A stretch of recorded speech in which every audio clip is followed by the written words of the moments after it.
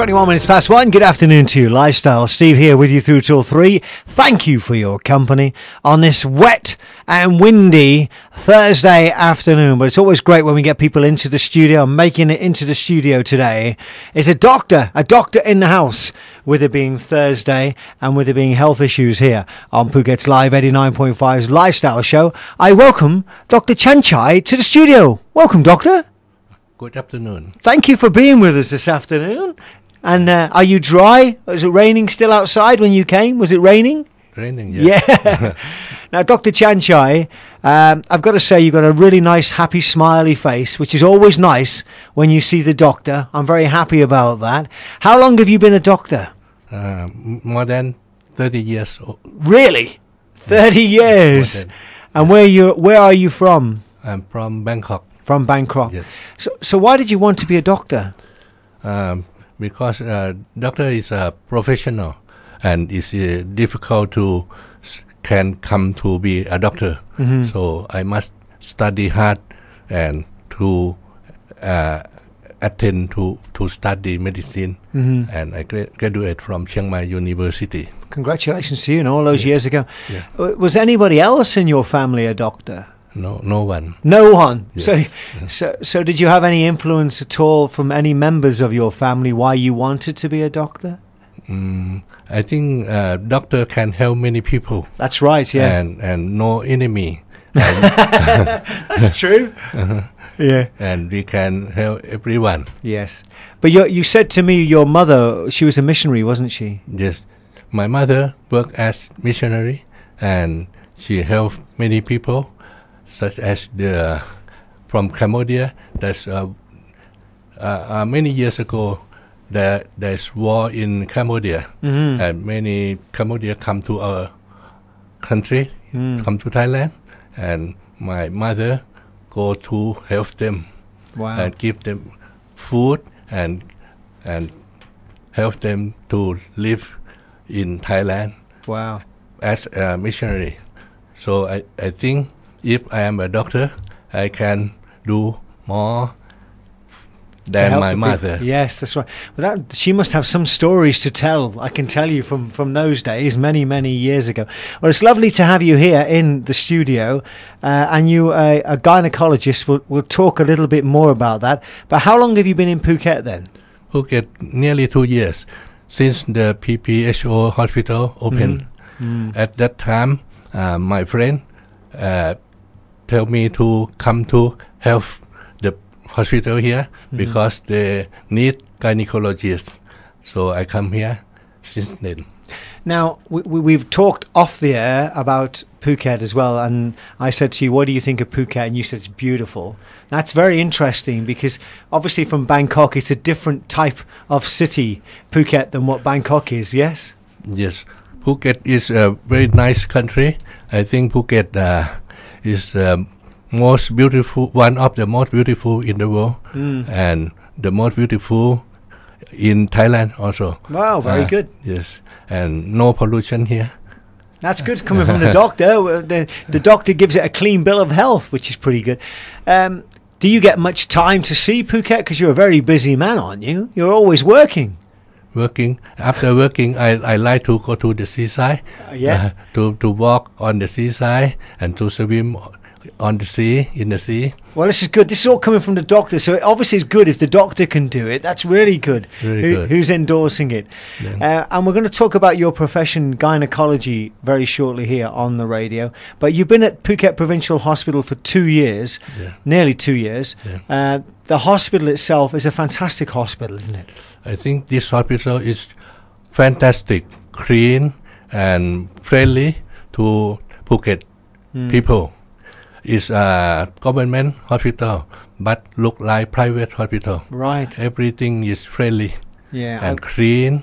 I, I've got to say, every time someone comes into the studio, mm-hmm. they're always smiling, very happy, and nice to mm. work there. Yes. And they all look good in their uniforms as well. Yes. But uh, so we'll talk about being a gynecologist very shortly here on Phuket's Live 89.5. We're with Dr. Charnchai, who's from the Phuket Provincial Hospital here on Phuket's Live 89.5.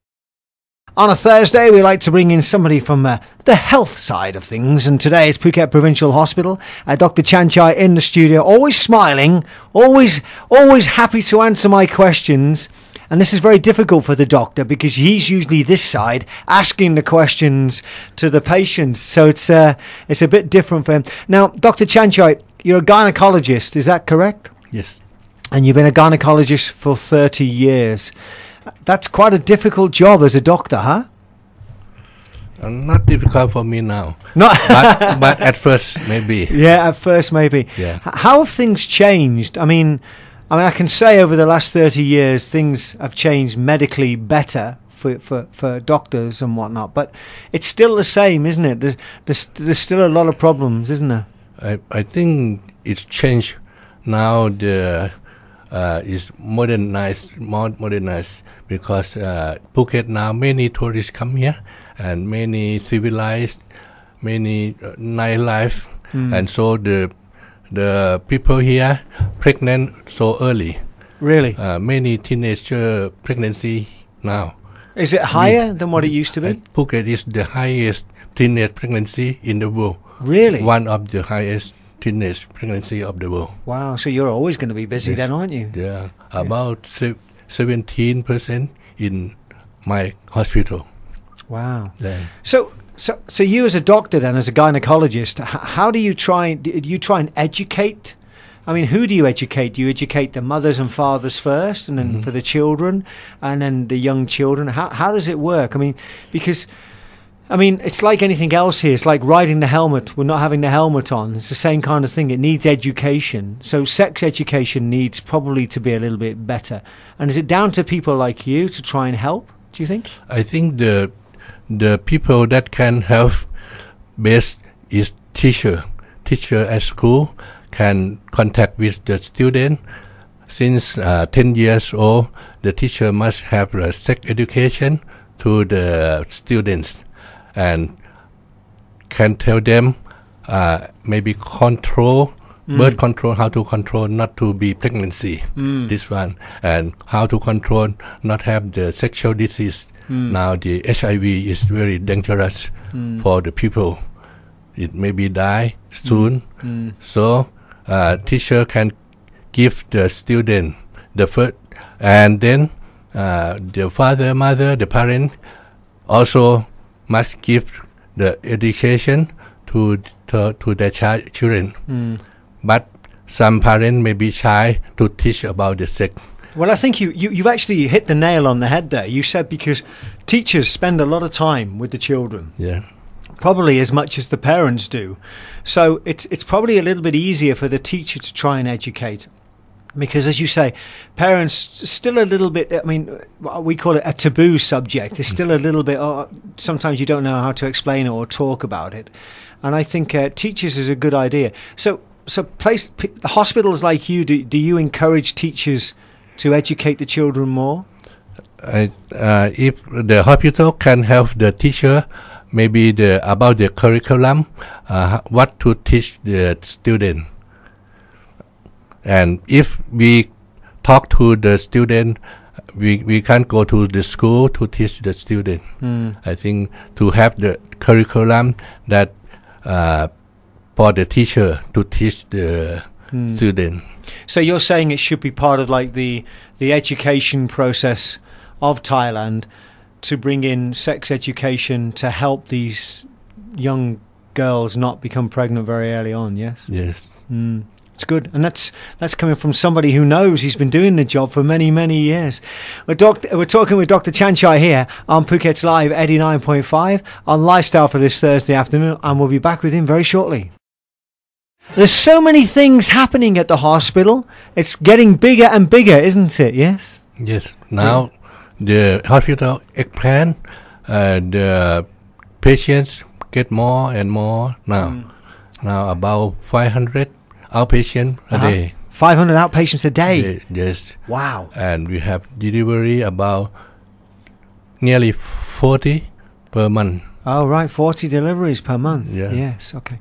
So, how do you see things changing in the future? I mean, obviously, you'd like to see teenage pregnancies come down in this part of the world, especially here in Phuket. Uh, do you think that will happen in the future? Do you think things will change? I think things will change, but the education at school will help to decrease the teenage pregnancy here. So they need more education and more help with the education at school. Yeah, now there's a program uh, to help the teenage pregnancy in Phuket. Oh, okay, Yeah, right. Yeah. So they're beginning to develop that now. Uh, yes. Now, Okay. yeah. Dr. Charnchai, it's been wonderful speaking to you. Thank you very much indeed for speaking to us on Live 89.5 today. Thank you. And I know it's your first interview in English. Yes. Yeah, well done. time. Very good. You're very good. Do you want to be the DJ now? I can go. You see, you, you can take over. Uh, thank you very much indeed for being with us as well. How long are you going to be here in Phuket for? Another two years, three years, four years, or don't you know? I don't know. Thank you, Dr. Charnchai, yeah. And take care. And we'll see you again from Phuket Provincial Hospital. Thank you. Thank you.